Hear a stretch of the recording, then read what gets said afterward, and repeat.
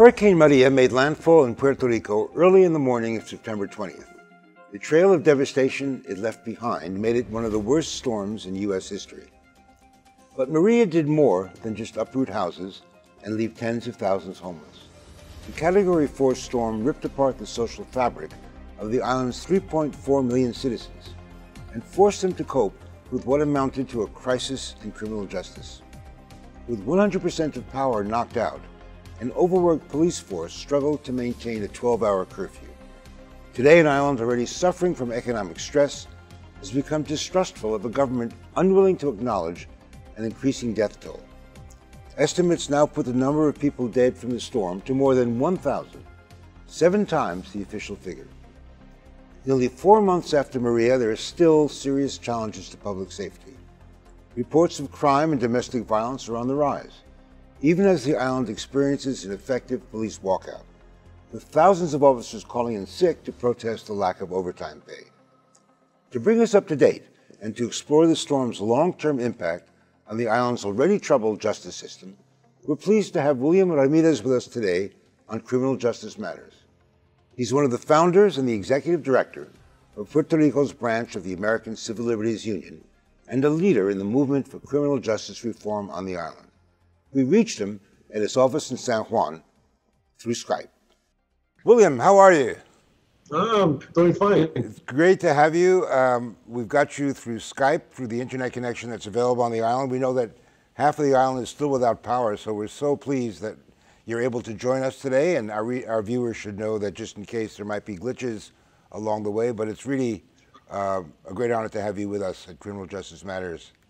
Thank you. Thank you for inviting me. And in fact, yesterday we had a major power outage again after we got our electricity back after three and a half months. So we were scared that this was going to be permanent, but we're back on the grid. And, well, bring uh, us up to date a bit on the conditions of the island right now. In December, you called uh, what was happening since Maria a human crisis. Are we still involved in a human crisis? Have things gotten better? Yes. Yes, there, there is a human crisis in Puerto Rico on many levels, and one of the major areas is healthcare? Uh, you have a lot of older citizens uh, that do not have access to healthcare, cannot access doctors. Doctors have left. Many doctors were leaving before, and many have left since then. Uh, hospitals, some hospitals do not have electricity, work with generators. And so you don't have access to certain therapies. And we visited uh, patients that are bedridden in their home that have access do not have access to doctors, do not have access to medicine, um, and have no way of having access. And, and if it were not for some NGOs that go visit, they would probably die, and many have died. On top of that, public safety has been compromised. Public safety well. is compromised as well. Crime is up. Um, cops, police officers are out on a slowdown uh, because they, they've not been paid. They've been work, they've been working long hours under very bad conditions. And so a series of things contribute to this, uh, we're calling a human crisis. But one thing that I've always said is the human crisis has been here. Uh, what Maria has done, it, it, it, has unmasked something that has been brewing for a while, uh, which is related to our bankruptcy, our insolvency, and the creation of a fiscal control board that is running the country but is not elected by the people. There's so much that we can talk about in terms of the effect and the impact on the island of that Maria left. But just to narrow it down on the whole criminal justice aspect of it, people were right. worried immediately after the storm about their personal security. There was fear sure. about safety. Is that were they? Did they have reason to fear? Are they still worried? Sure, they have reason to fear. Uh, in very much the same way that people had reason to fear in Louisiana and during, during Katrina and New Orleans, so a lot of crime, crime went up. Um, we had the same issues here. Uh, but it gets complicated because unlike Louisiana or New Orleans, where you have flat land, it's plain, uh, we have mountain towns up and down the ranges, mountain ranges, uh, in very remote, very dark locations. Mm-hmm. And there have been uh, bands of criminals that have incurred criminal activity. Uh, one of the common crimes that we're seeing now is uh, generators being stolen. Generators have been stolen from nursing homes, from hospitals, from businesses, and also from people's homes. So there is crime. Uh, crime has worsened. It's very dark in some of these communities. Um, there is no police protection. No police protection. Well, some of these towns are small towns. They have a precinct with maybe a few police officers. Right now, police officers are on a slowdown, so some precincts weren't even opening in the past weeks because they didn't have the officers to open.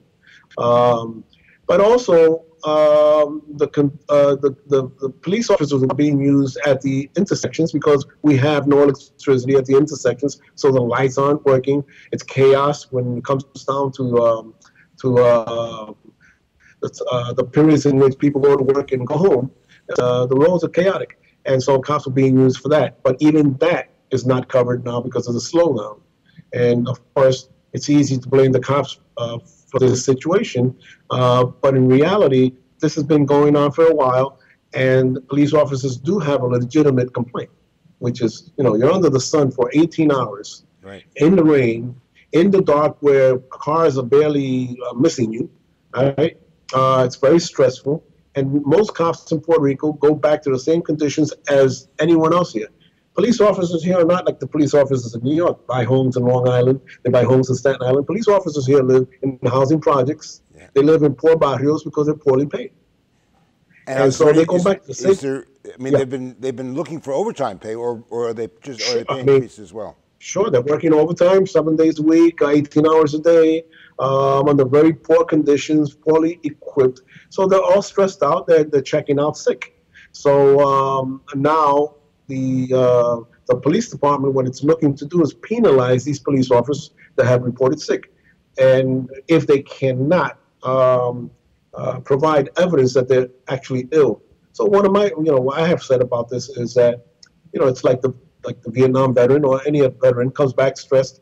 I mean, it's very difficult to prove that you have a condition. In fact, many uh, veterans are not certified by the VA as having any condition, and we know they have it. Right? Police officers are the same thing. So, although we have been the number one um, uh, opponents of the, of the police department in terms of police abuse and corruption, we're also coming out and saying these are also workers. It's really hard to separate the issues of public safety from the really systemic problems on the island that start with the economy, with economic bankruptcy. Uh, you've hit it right on the nail, and that's that's a systemic problem. It, it, it permeates everything, everything, and so you can't look at the crime, uh, the the uh, criminality problem in Puerto Rico without going back to the budget, without going back to the fact that Puerto Rico is in bankruptcy. You can't look at the health issues that have allegedly developed since Maria, but we know were there before. Um, without looking at that as well.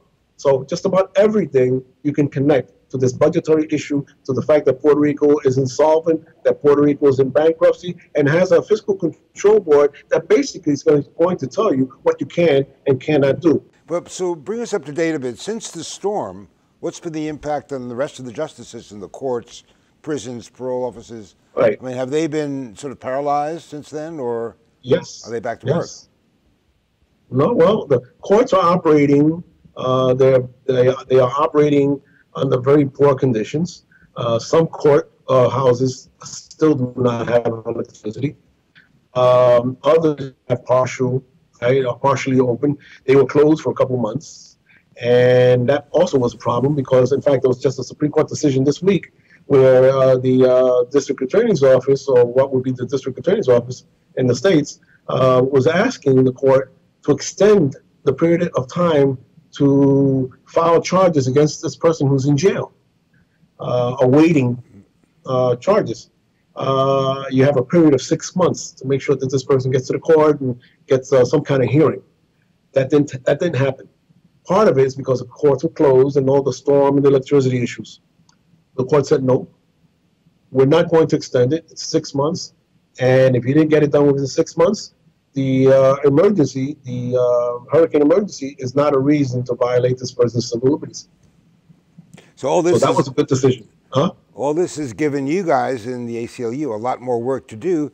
How do you Yes. manage that? I mean, how, you're sitting in San Juan now, but when you go out to the mountain towns, how do you get around? What's it been like? In San Juan, you can get out uh, fairly easily, but if you're traveling to the rest of the island, obviously transportation is a, is a problem. Transportation is a problem. Access to certain towns is a problem. Bridges are down. Roads are down. There are towns where people get across on a rope. Uh, you know, if you can imagine that. Um, and so, yes, it's a problem. We don't go out looking for clients. Clients call us if there's an issue. So what happens is uh, many times you have NGOs on the ground that know of an issue and they contact us. Uh, we were called uh, when uh, we had an extended or um, indefinite curfew um, uh, ordered by the governor, which we thought was very unreasonable. Uh, and we were getting calls from people because they were being stopped by police officers um, and their civil liberties were being violated. One man in particular, a black man who, and I say that deliberately, um, who was uh, at a gas station having uh, a meal because he's an electric um, electric power worker. So he was working to reinstate the electricity, and he went to have a meal. It was after six o'clock. The curfew takes place at six. He gets arrested.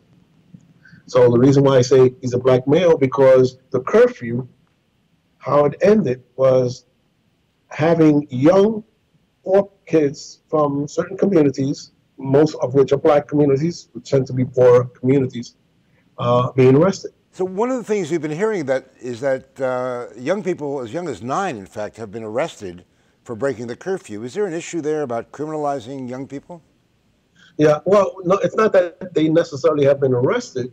Um, we don't know that they have. We, we know young people have been arrested, um, but of that age, we're not sure. But but that they can be because there's no limit on uh, how young that person can be to be arrested and be treated as, a, as an adult. So recently, uh, a bill was proposed that would kind of institutionalize that idea that you can charge a, a minor, a youth of any age, as an adult criminal.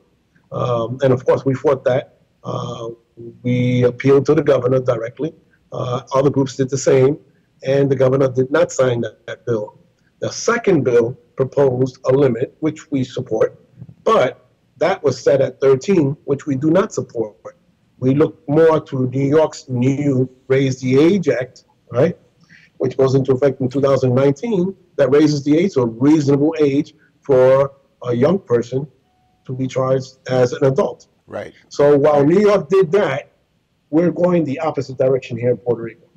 William, again, it was fantastic to have you with us at Criminal Justice Matters. I know our viewers um, wish you and everybody in Puerto Rico the best of luck in getting through the crisis and finding a way to repair the damage that has been done to the island's infrastructure and justice system. So, best of luck to you. William, thank you. Thank you. Jodie Roure is an associate professor in the Department of Latin American and Latino Latina Studies at John Jay College of Criminal Justice. She's an expert in human rights and has also researched violence against women in Puerto Rico and across the hemisphere. She joins us today with her perspective on Maria and justice. Jodie, thanks for joining us. Thank you for having me. So you were listening a bit to our conversation with William. Um, I know you go down to the island very frequently. Yes. So one of the things that we were talking about with William was the higher incidence of crime and violence that's happened. Of course, we don't really know the statistics. Nobody, which is anecdotal for the most part, and we're a criminal justice university. We deal with statistics. What's the problem with getting statistics out of the island? Yeah. So, as William was saying, um, I think that the hurricane has uncovered pre-existing problems that we've had. So, statistics has been an ongoing problem on the island. Actually, wrote a law review that talks about this. Um, in particular, the issue with statistics is that we have different fountains that provide statistics, and the numbers from those different fountains don't always add up. So, if I could talk about my area of expertise, for yes. example. Um, I work in the area of, of, of, human rights and I focus my work on gender justice issues, specifically uh, domestic violence. Um, and in the area of domestic violence in Puerto Rico, uh, you'll have several areas uh, or several fountains of information or several um, sources where you can get information. Um, so there'll be the police department that have one set of statistics on domestic violence uh, crimes. You'll have what's called La Procuradora de la Mujer, which is the Women's Advocate's Office that is supposed to keep a set of, of statistics on domestic violence crimes. Um, and then you'll have um, the um, administrative office of the courts that's supposed to have another uh, group of statistics on domestic violence crimes. Often, when you look at those uh, data sets, um, they don't always have the same number. And what's really important, Steve, to understand is there's no Freedom of Information Act in Puerto Rico, so you do not get information freely. You must request information. And if that information is not given to you, and which often when you do request it, it takes a long time to get it, or it's not given to you at all, you have to access it through the court system. So what do we know? Um, even anecdotally, we know there's a few websites that are actually on their own collecting information. Right. So there's this one very awesome website um, that it's just viral right now. It's been viral for some time, and it is what civil society considers a more reliable and update, accurate description of women that have disappeared, what kinds of crimes have been committed against women and girls. And it's literally an up to date, day by day social worker who compiles statistics from every single source that she can gather, whether it's news reports, and she collects and posts them on Facebook. During the hurricane, it's been very, very relevant because during the hurricane, we have had a loss of telecommunications and, a, and a lack of the ability to report report crimes to the police because of the lack of police presence in many cases, as William has explained, and a lack of access to the court systems, right? Because of the simple fact that there's been no infrastructure and there's no way for people to be able to access this because they might not have a car. Uh, the streets are not, um, you're not able to access them because there's no roadways, right, to be able to get to a police uh, station, even if it was open, or a court system, a court tribunal, even if it was open, because there's no electricity, right? So it's very dangerous during this period of time, even now, to travel. So one of the things that we do know is that there's been an increase in domestic violence. Absolutely. And that's directly as a result of the hurricane. Absolutely. To explain that, why, why is that happening? Right. And, and, do we know any any have anything close to the kind of figures that can tell us a little bit right. about the increase? Right, right. So there has absolutely been an increase of domestic violence with any natural disaster in any part of the world. And I'm going to focus, of course, on Puerto Rico, but I think it's important for the audience to understand that um, globally, with given you know um, climate change, we're going to be seeing this more increasingly. So I think the audience needs to understand that. I think as a global society and global citizens, we need to be more aware of how we can educate our communities in terms of preparing for these types of incidences.